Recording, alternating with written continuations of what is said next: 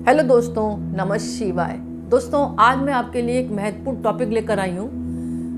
जो टॉपिक है, वो है मांगलिक दोष। आपने सभी सुना हो, सभी लोगों ने सुना होगा, जब विवाह के लिए हम लड़का लड़की देखते हैं तो उसकी जन्म कुंडली का विवेचन करते हैं। और जन्म कुंडली में अगर कोई लड़का या लड़की कोई भी मांगलिक होता है तो उसके ऊपर हम सोचते हैं कि शादी करें या ना करें। तो उसके लिए मांगलिक लड़का ही देखा जाता है। तो आज मैं आपको बताऊँगी मांगलिक दोष के बारे में।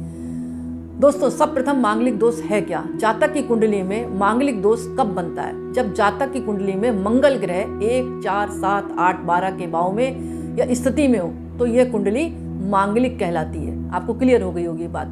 लेकिन इस मांगलिक दोष का परिहार यानी निरस्तीकरण भी होता है। ये निम्न ग्रहों की स्थिति के आधार पर मांगलिक दोष परिहार हो जाता है। परिहार का मतलब समझते हैं आप, एक तरह से मज़ाक बन जाता है। मतलब वो माना ही नहीं जाता। अब वो स्थिति क्या क्या है? जैसे कुंडली एक, चार, सात, आठ, बारह के भाव में मंगल ग्रह की उपस्थिति सैम्ब राशि, मेष, वृश्चिक या उच्च राशि, मकर में बैठ जाए तो परिहार हो जाता है। यदि मंगल ग्रह पर गुरु की दृष्टि हो या सात में बैठ जाए, बात समझ में आ रही होगी, यदि मंगल ग्रह पर गुरु की दृष्टि हो या वो सात में बैठ जाए तो भी परिहार हो जाता है। यदि बर की कुंडली में मांगलिक दोष है और बधु की कुंडली में उन्हीं भावों में शनि या पाप ग्रह बैठ जाए तो भी परिहार हो जाता है। यानी एक तरह से मज़ाक हो जाता है, उसका कोई महत्व नहीं होता।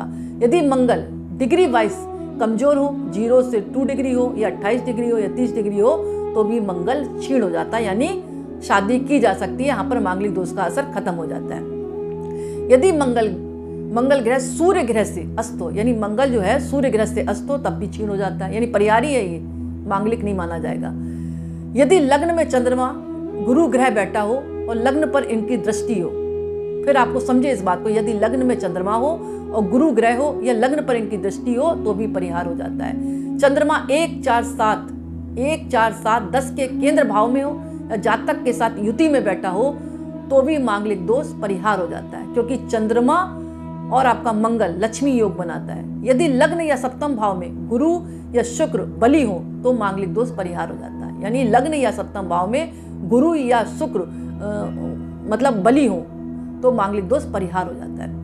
यदि बर और बधु की कुंडली में राशि एक ही हो और मित्र राशि हो और 27 से ज़्यादा गुण मिल रहे हो तो भी मांगलिक दोष परिहार हो जाता है। लेकिन कुछ का मत है, कुछ विद्वानों का मत है कि अट्ठाईस वर्ष के बाद मांगलिक दोष बिल्कुल खत्म हो जाता है। उसमें मांगलिक देखने की ज़रूरत नहीं है। तो दोस्तों, आज मैंने आपको एक महत्वपूर्ण टॉपिक पर विवेचन किया है। इसको आप देखें, फिर भी आपको अगर कोई शादी के लिए घर पर है, लड़का या लड़की और उसकी कुंडली में मांगलिक दोष है तो आप मुझसे पूछ सकते हैं, अपना कमेंट्स डालकर। तो दोस्तों, आज का वीडियो मैं ही समाप्त करती हूँ। पसंद आए तो लाइक करें, दूसरों को शेयर करें और कमेंट्स में नमस्कार ज़रूर लिखें। बहुत बहुत धन्यवाद।